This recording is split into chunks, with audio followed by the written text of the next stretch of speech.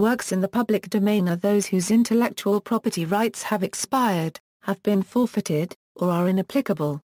Examples include the works of Shakespeare and Beethoven, most of the early silent films, the formulae of Newtonian physics, and powered flight. The term is not normally applied to situations where the creator of a work retains residual rights, in which case use of the work is referred to as under license, or with permission. In informal usage, the public domain consists of works that are publicly available. While according to the formal definition, it consists of works that are unavailable for private ownership or are available for public use. As rights are country-based and vary, a work may be subject to rights in one country and not in another. Some rights depend on registrations with a country-by-country -country basis, and the absence of registration in a particular country, if required, implies public domain status in that country. Public domain is one of the traditional safety valves in copyright law. History The term public domain did not come into use until the mid-17th century, although as a concept it can be traced back to the ancient Roman law, as a preset system included in the property rights system. The Romans had a large proprietary rights system where they defined many things that cannot be privately owned as res communes, res publici and res universitatis. The term res commune was defined as things that could be commonly enjoyed by mankind, such as air, sunlight and ocean. The term res publici referred to things that were shared by all citizens, and the term res universitatis meant things that were owned by the municipalities of Rome. When looking at the public domain from a historical perspective, one could say the construction of the idea of public domain sprouted from the concepts of res commune, res publici, and res universitatis in early Roman law. When the first early copyright law was first established in Britain with the Statute of Anne in 1710, public domain did not appear. However, similar concepts were developed by British and French jurists in the 18th century. Instead of public domain they used terms such as publici juris or propria copyright tar copyright publique to describe works that were not covered by copyright law. The phrase fall in the public domain can be traced to mid-19th century France to describe the end of copyright term.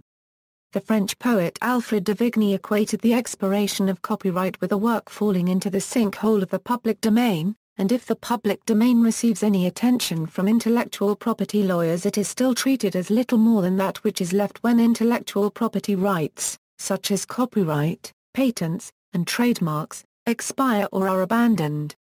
In this historical context Paul Torremans describes copyright as a little coral reef of private right jutting up from the ocean of the public domain. Because copyright law is different from country to country, Pamela Samuelson has described the public domain as being different sizes at different times in different countries. Definition Definitions of the boundaries of the public domain in relation to copyright, or intellectual property more generally, regard the public domain as a negative space, that is, it consists of works that are no longer in copyright term or were never protected by copyright law. According to James Boyle this definition underlines common usage of the term public domain and equates the public domain to public property and works in copyright to private property. However, the usage of the term public domain can be more granular, including for example uses of works in copyright permitted by copyright exceptions. Such a definition regards work in copyright as private property subject to fair use rights and limitation on ownership. A conceptual definition comes from Lange, who focused on what the public domain should be. It should be a place of sanctuary for individual creative expression, a sanctuary conferring affirmative protection against the forces of private appropriation that threatened such expression. Patterson and Lindberg described the public domain not as a territory, but rather as a concept. T. Here are certain materials a euro the air we breathe, sunlight, rain, space, life, creations, thoughts, feelings, ideas, words, numbers a are not subject to private ownership. The materials that compose our cultural heritage must be free for all living to use no less than matter necessary for biological survival. The term public domain may also be interchangeably used with other imprecise and or undefined terms such as the public sphere, or commons, including concepts such as commons of the mind, the intellectual commons, and the information commons. Value Pamela Samuelson has identified eight values that can arise from information and works in the public domain. Possible values include building blocks for the creation of new knowledge, examples include data, facts, ideas, theories, and scientific principle. Access to cultural heritage through information resources such as ancient Greek texts and Mozart Euro unregistered trademark S symphonies. Promoting education, through the spread of information, ideas, and scientific principles. Enabling follow-on innovation, through for example expired patents and copyright. Enabling low-cost access to information without the need to locate the owner or negotiate rights clearance and pay royalties, through for example expired copyrighted works or patents, and non-original data compilation. Promoting public health and safety, through information and scientific principles promoting the democratic process and values, through news, laws, regulation, and judicial opinion. Enabling competitive imitation, through for example expired patents and copyright, or publicly disclosed technologies that do not qualify for patent protection. Relationship with derivative works. Derivative works include translations, musical arrangements, and dramatizations of a work, as well as other forms of transformation or adaptation. Copyrighted works may not be used for derivative works without permission from the copyright owner, while public domain works can be freely used for derivative works without permission. Artworks that are public domain may also be reproduced photographically or artistically or used as the basis of new, interpretive works. Once works enter into the public domain, Derivative works such as adaptations in book and film may increase noticeably, as happened with Frances Hodgson Burnett's novel The Secret Garden, which became public domain in 1987. By 1999, the plays of Shakespeare, all public domain, had been used in more than 420 feature-length films. In addition to straightforward adaptation, they have been used as the launching point for transformative retellings such as Tom Stoppard's Rosencrantz and Guildenstern are Dead and Troma Entertainment's Tromeo and Juliet. Marcel Duchamp's LHOOQ is a derivative of Leonardo da Vinci's Mona Lisa, one of thousands of derivative works based on the public domain painting. Relationship with the Information Society, according to Bernt Hugenholtz and Lucie Guibault, the public domain is under pressure from the commodification of information as items of information that previously had little or no economic value have acquired independent economic value in the information age, such as factual data, personal data, genetic information, and pure ideas. The commodification of information is taking place through intellectual property law, contract law, as well as broadcasting and telecommunications law. Perpetual copyright some works may never fully lapse into the public domain. A perpetual crown copyright is held for the authorized King James Version of the Bible in the UK. While the copyright of the play Peter Pan, or The Boy Who Wouldn't Grow Up by J. M. Barrie has expired in the United Kingdom, it was granted a special exception under the Copyright, Designs, and Patents Act 1988 that requires royalties to be paid for performances within the UK, so long as Great Ormond Street Hospital continues to exist. Application to copyrightable works, works not covered by copyright law. The underlying idea that is expressed or manifested in the creation of a work generally cannot be the subject of copyright law. Mathematical formulae will therefore generally form part of the public domain, to the extent that their expression in the form of software is not covered by copyright.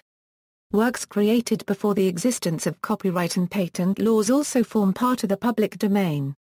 For example, the Bible and the inventions of Archimedes are in the public domain, but copyright may exist in translations or new formulations of these works. Expiration of copyright Determination of whether a copyright has expired depends on an examination of the copyright in its source country. In the United States, determining whether a work has entered the public domain or is still under copyright can be quite complex, primarily because copyright terms have been extended multiple times and in different ways a euro shifting over the course of the 20th century from a fixed term based on first publication, with a possible renewal term, to a term extending to 50, then 70, years after the death of the author. In most other countries that are signatories to the Berne Convention, copyright term is based on the life of the author, and extends to 50 or 70 years beyond the death of the author.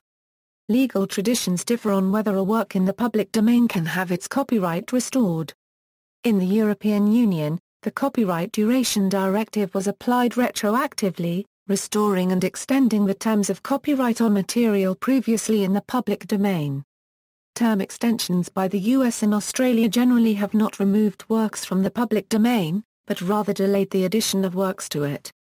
However, the United States moved away from that tradition with the Uruguay Round Agreements Act, which removed from the public domain many foreign-sourced works that had previously not been in copyright in the U.S. for failure to comply with U.S.-based formalities requirements.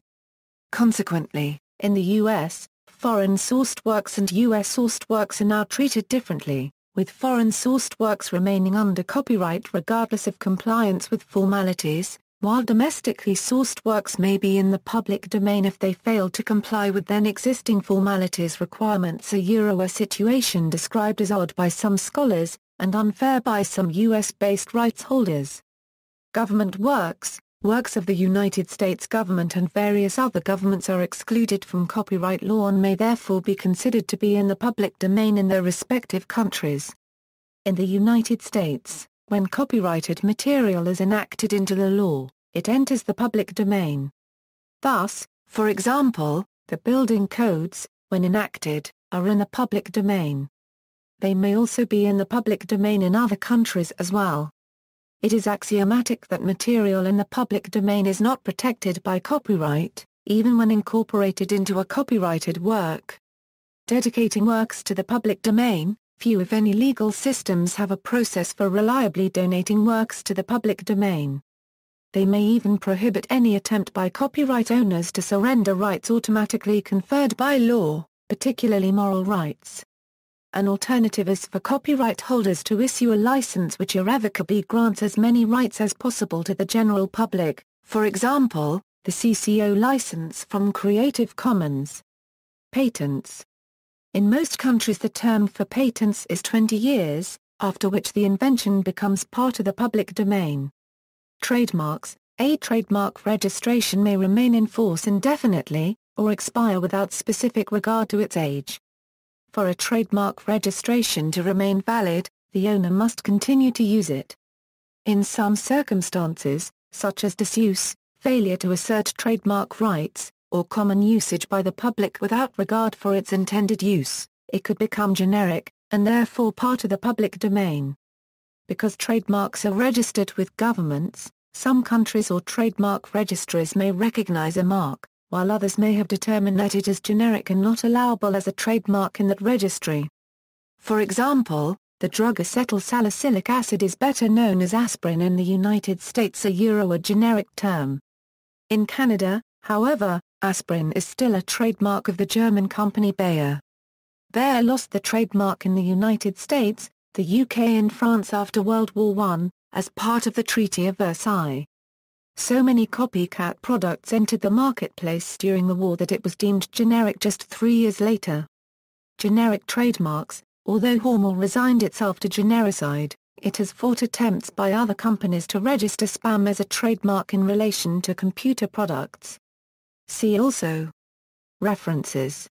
External links, Public Domain Manifesto, Public Domain Day with many links to useful tools to find and determine public domain works, The Public Domain Review, Public Domain Dedication by Creative Commons, Public Domain Mark by Creative Commons, European Public Domain Charter, Out of Copyright Public Domain Calculation for Europe, by Europeana, Flowchart to determine public domain status of a work in the U.S., Stanford Copyright Renewal Database, Catalog of Copyright Entries Information. Center for the Study of the Public Domain, Duke Law School, Duke University, N. Stephan Kinsella, Against Intellectual Property, Michele Boldrin and David K. Levine, Against Intellectual Monopoly.